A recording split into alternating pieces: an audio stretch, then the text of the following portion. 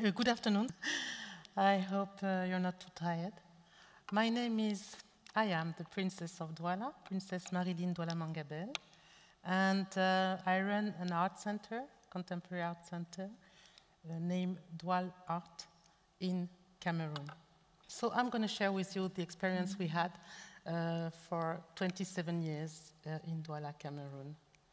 Um, I'm working, we have two spaces of work. One is our venue, the Espace Doual'art, and the second one is the city as a kind of venue. And I want just to say that poverty, we are fighting against poverty. We are also uh, trying to empower people in the field, in the city of Douala. And uh, for us, poverty is not a matter of um, money or of politics. It's related to the human dignity. People live, need uh, needs to live with security, with normal uh, condition of living, but also um, maybe more um, over, they need to live with freedom of speech and the right to dream. Then, um, most of the time, those conditions do not exist in their context in, the, in many countries.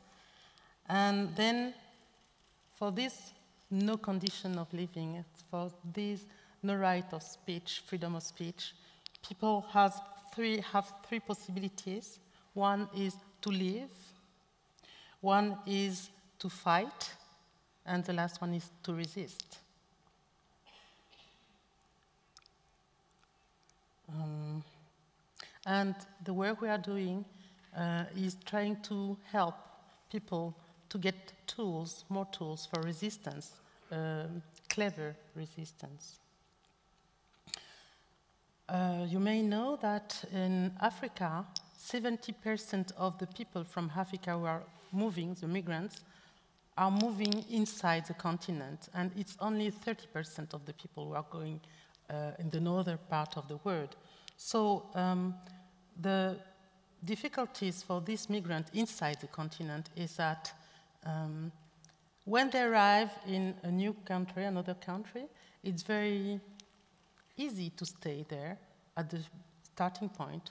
But when the governments want to um, hide the failure of their way of doing, of governing, they accuse the foreigners to be the responsible of the, the difficulties. And um, this is one of the reasons why people are obliged to move and move and are becoming migrant in different other countries. But you may know also that I am from Douala, but before my ancestors were coming from Congo. And then migration is not something new.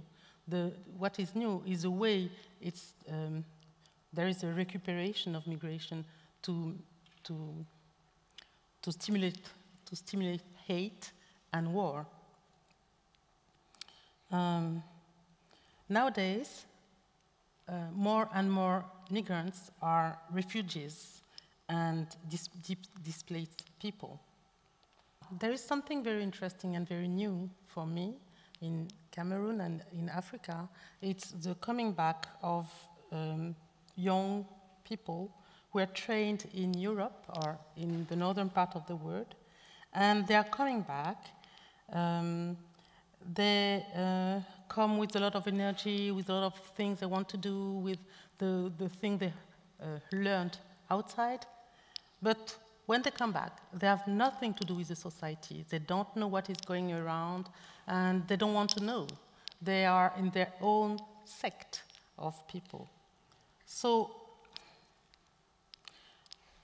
the work we are doing in Douala is to try to mix people, to try to mix people, to try to help people, the one who live there from so long time, the one who have nothing, to give them a kind of dignity in asking to artists to transform their surrounding, to make them honor their ease in the spaces where they live, and to create platforms where they can speak together and they can get some emotion together uh, through um, performances and so on.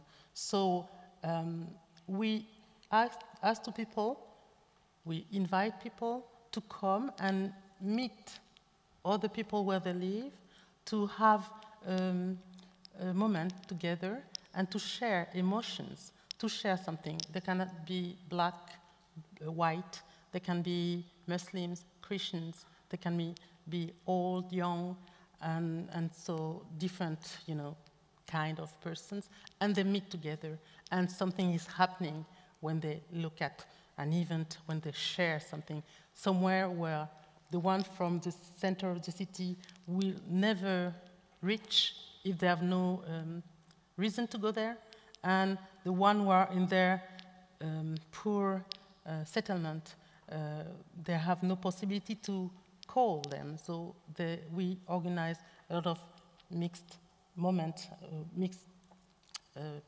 relationship with people around uh, those kind of uh, work. -huh. Okay. So um, we also work a lot to help kids uh, to express themselves because um, there's a lot of things we are doing. We, are, we were born in uh, 1991 and we have done a lot. But one is this example um, to help kids to speak loudly um, with their new language. You know, we are faced to new cultural behaviors, and the city of Douala, with five million of inhabitants, uh, and coming from different parts of the country, but also coming from abroad countries, uh, African countries, and then European and American and so on. So those young people are, uh, are in the way of inventing their new they are creati creating new words, new vocabulary, new language. And that project was an, a project where they spent time to understand and to read the um, Universal, universal Declara Human Declaration.